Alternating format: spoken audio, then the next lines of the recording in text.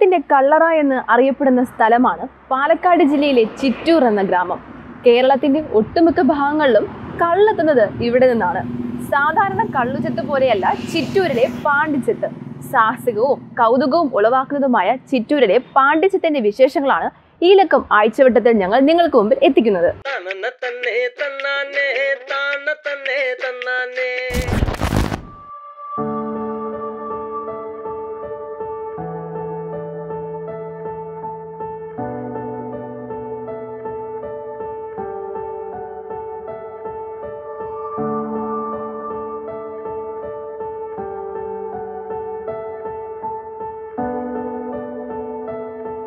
കേരളത്തിൽ കള്ളും ചെത്തും ചെത്തു തൊഴിലാളികളും കുറഞ്ഞു വന്നുകൊണ്ടിരിക്കുകയാണ്. ഇന്ന് സംസ്ഥാനത്തെ വിവിധ സ്ഥലങ്ങളിലേക്ക് കള്ളെത്തിക്കുന്നത് ചിറ്റൂരിൽ നിന്നാണ്. ആയിരത്തിലധികം ചെത്തു തൊഴിലാളികളാണ് ചിറ്റൂരിലെ വിവിധ പ്രദേശങ്ങളിലെ തോപ്പുകളിൽ കള്ളുചെത്തിൽ ഏർപ്പെട്ടിരിക്കുന്നത്. പ്രായമുള്ളവരും ചെറുപ്പക്കാരുമെല്ലാം കള്ളു ചെത്താറുണ്ട് എന്നാലിപ്പോൾ ചെത്തു തൊഴിലാളിയായി മുന്നിട്ടിറങ്ങാൻ പലരും മടിക്കുന്നുണ്ട്. കള്ളുചെത്തിലെ സാഹസികതയും അപകട സാധ്യതയും തന്നെ ഒരു പ്രധാന കാരണം. എനിക്കിപ്പോൾ നാൽപ്പത്തേഴ് വയസ്സായി. ഞാൻ ചെത്താൻ തുടങ്ങി പതിമൂന്ന് വയസ്സിൽ ചെത്താൻ തുടങ്ങിയതാണ്. അത് മുപ്പത് മുപ്പത്തിരണ്ട് കൊല്ലമായിട്ട് ചെത്തിക്കൊണ്ടിരിക്കുകയാണ്.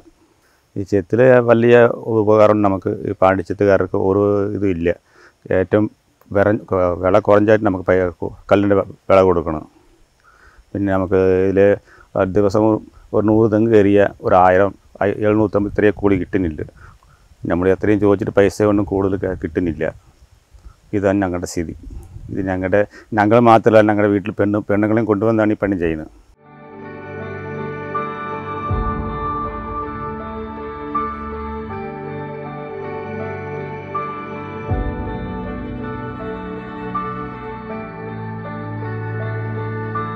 രാത്രി പന്ത്രണ്ട് മണിക്കൊക്കെ തെങ്ങ് കയറി ചെത്തുന്നുണ്ട്. ചെത്തിയിട്ട് ഒരു വലിയൊരു ഉപകാരമില്ല.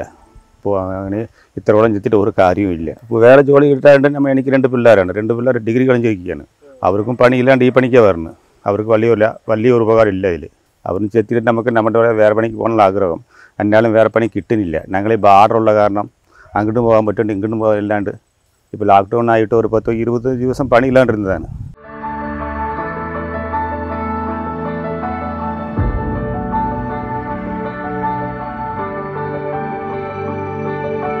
ചിറ്റൂരിലെ പാണ്ടിച്ചെത്തിൽ സാധാരണ കള്ളു ചെത്തുന്ന പോലെയല്ല.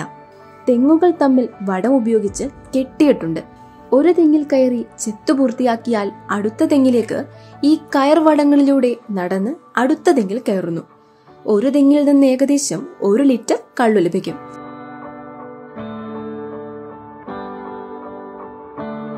ഒരു അമ്പത് തെങ്ങ് കയറാം. അമ്പത് തെങ്ങ് നാൽപ്പത് തെങ്ങൊക്കെ കയറാം. അമ്പത് കയറാൻ തന്നെ ഭയങ്കര പാടാണ്. തെങ്കിന്റെ മുകളിൽ കയറി ഈ കയറ്റിക്കൊണ്ട് നടന്ന് പണിയെടുക്കുന്നത് ഭയങ്കര റിസ്ക് റിസ്ക്കുള്ള കാര്യമാണ്. അവിടെ താളെ വീഴുന്നാലും ജീവൻ പോയാലും നമുക്ക് ഒരു പത്ത് രൂപ ഉപകാരം കിട്ടുന്നില്ല. പോയാൽ പോയാൽ തന്നെ. പിന്നെ ആ തീർന്നു കഴിഞ്ഞാൽ നമ്മുടെ കൂടെ നഷ്ടത്തിലാണ്. അതിന് ഒന്നും ഒരു ഉപകാരം ചെയ്ത് കൊടുക്കണില്ല. ഒരു അമ്പത് തെങ്ങ് കയറിയ ഒരു എൺപത് ലിറ്റർ തൊണ്ണൂറ് ലിറ്റർ കല്ല് കിട്ടും. ഈ ഒരു ലിറ്ററിന് വന്ന് പന്ത്രണ്ട് രൂപ ഒമ്പത് രൂപ പതിനാല് രൂപ ഏറ്റവും കൂടിയ ഒരു പതിനഞ്ച് രൂപ കൂടി വരെ കിട്ടും കൊടുക്കും ഇവർ അതിന് കൂടുതൽ ഒന്നും കൊടുക്കില്ല. ആദ്യം തുടക്കത്തിൽ ഒരു ലിറ്റർ രണ്ട് ലിറ്റർ വെച്ച് അങ്ങനെ കിട്ടും. ഒരു പത്ത് പന്ത്രണ്ട് തെങ്ങ് കയറുണ്ട്. ഇത് പത്ത് മുപ്പത്തഞ്ച് നാൽപ്പത് ലിറ്റർ ചിലപ്പോൾ അമ്പത് ലിറ്റർ തെങ്ങിന്റെ കരുത്തനുസരിച്ച് കിട്ടും. പിന്നെ ഇതിപ്പോൾ ഒരു നല്ലൊരു സർക്കാർ വന്നപ്പോൾ നമുക്കൊരു എല്ലാ തൊഴിലാളികൾക്കും നല്ലൊരു ഇത് പിന്നെ മതിയ ദുരന്തമൊക്കെ ഒഴിവാക്കാൻ പറ്റിയൊരു ഇതാണ് ഇപ്പോൾ സർക്കാർ ചെയ്തിട്ടുള്ളത്. ഏ, വലിയ പന്തി ദുരന്തങ്ങളൊക്കെ ഒഴിവാകും ഷാപ്പ് ഇങ്ങനെ നിലനിന്ന് പോയാൽ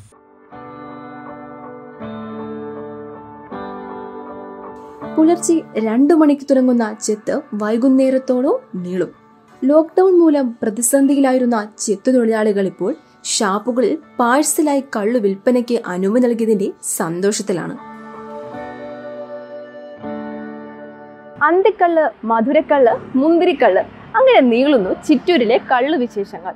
കള്ളു കുടിക്കുവാൻ പ്രേരിപ്പിക്കുകയല്ല എന്നാൽ അന്യം നിന്ന് പോകുന്ന പരമ്പരാഗത ചെത്തുതൊഴിലിനെയും കേരളത്തിലെ വിവിധ ജില്ലകളിൽ ശുദ്ധമായ കള്ള് എങ്ങനെയാണ് എത്തുന്നതെന്നും നിങ്ങൾക്കറിയാൻ വേണ്ടിയാണ് ഈ കാഴ്ചകൾ ആഴ്ചവട്ടം നിങ്ങൾക്ക് മുമ്പിൽ എത്തിക്കുന്നത്.